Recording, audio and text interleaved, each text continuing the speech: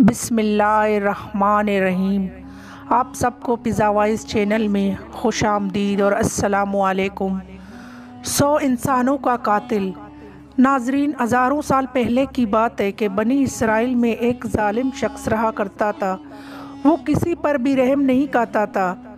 लोग उससे बहुत खौफजदा थे और किसी में जुर्रत न थी कि उसे कोई तिरछी हाँख से देख सके। नाजरीन, अगर आपने मेरे चैनल पिज़्ज़ा वॉइस को सब्सक्राइब नहीं किया तो सब्सक्राइब करें और घंटी के बटन को ज़रूर दबाएँ। बनी इसराइल का वो ालिम शख्स मामूली मामूली बातों पर निन्यानवे आदमी कत्ल कर चुका था। यहाँ तक कि इसका दिल मज़ीद कत्ल और बुराइयों से उगता गया था। तो वो किसी राइब के पास आया और पूछा कि मैंने निन्यानवे कत्ल किए हैं, अब मैं तोबा करना चाहता हूँ तो क्या मेरी तोबा कबूल हो जाएगी? क्योंकि कत्ल बड़ा जुर्म है। इतनी तादाद के आदमियों के कातिल को अल्लाह ताला भला कैसे बख्शेगा? राइब ने अफसोस ज़दा लहजे में जवाब दिया, अगर ये बात है तो सेंचुरी मुकम्मल क्यों नहीं की जाए? ये सुनते ही उसने उस राइब को भी कत्ल कर दिया।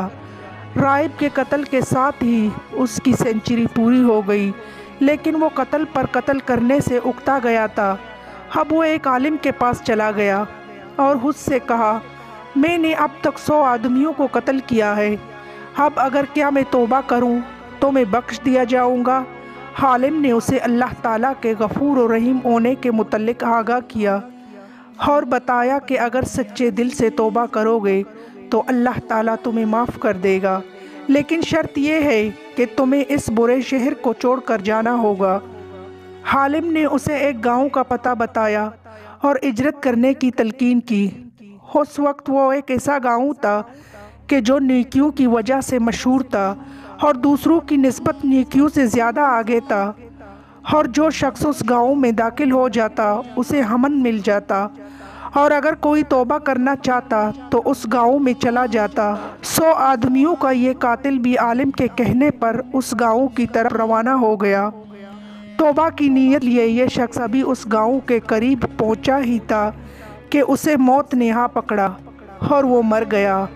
मौत के बाद जन्नत और दोजक के फरिश्तों के दरमियान तकरार हो गया जिसमें रहमत के फरिश्ते उस बात पर बाजिद थे कि उस शख्स ने तोबा की नीयत कर ली थी और तोबा करने के लिए उस गाँव की तरफ़ चला आ रहा था कि रास्ते में फौत हो गया।